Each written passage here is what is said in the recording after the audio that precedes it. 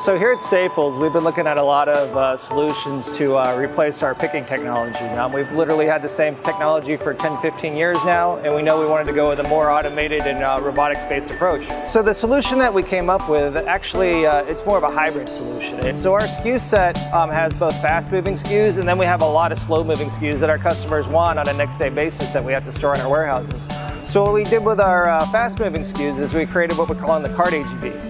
And what the cart AGV does is we actually put the, uh, the cartons that will go to the customer on the cart AGV and we pick our fast moving storage mediums, which is our carton flow and our pallet flow, with the cart AGV. Um, once the cart AGV has all the picks complete, we bring that cart AGV to a goods to person cell.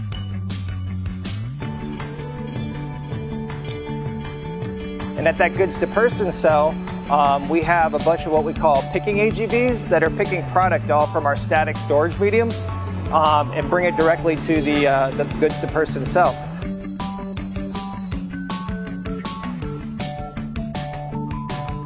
And they also have the capability of pulling five SKUs or more that we actually need from the shelves over to the solution.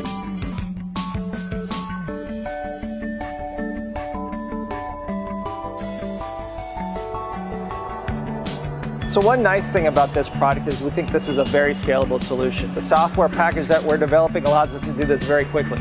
And I think that's something that means a lot to Staples.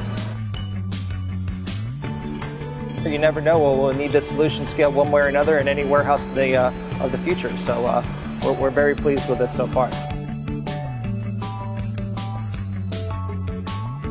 So when we went through vendor selection, there was a couple of key criteria that we were looking for. We wanted somebody that could work extremely fast, get this product to market quickly, and we also wanted somebody that we could feel as a partner in this project. And I think by far Guozi has achieved both of these.